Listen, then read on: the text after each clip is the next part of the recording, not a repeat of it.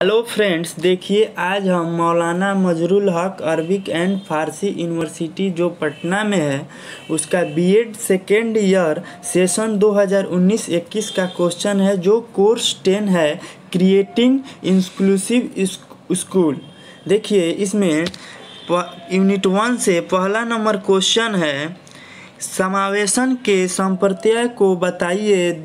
दिव्यांग व्यक्ति के लिए अधिकार एवं समान अवसर उन्नीस सौ पंचानवे को विस्तार से समझाइए। क्वेश्चन नंबर दो है, निम्नलिखित पर संक्षिप्त टिप्पणियाँ लिखे। ए में है, विशिष्ट शिक्षा एवं एकीकृत शिक्षा से आप क्या समझते हैं? बी में है, शारीरिक विकलांगता से संबंधित आवश्यकताएँ एवं विशेषताओं को बताएँ। यूनिट टू से क्वेश्चन नंबर थ्री है, विविधतापूर्ण आवश्यकता वाले छात्र का वर्गीकरण करें तथा इनकी विशेषताओं एवं आवश्यकताओं का विस्तार पूर्वक वर्णन करें।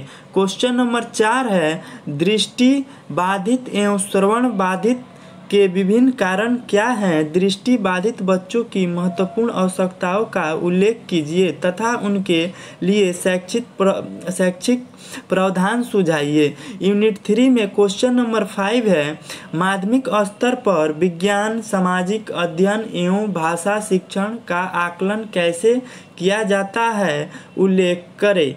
क्वेश्चन नंबर सिक्स है, विशिष्ट बच्चों की शिक्षा से संबंधित तीन विश्व स्तरीय अनुदान आयोग का उल्लेख करें। यहीं पे समाप्त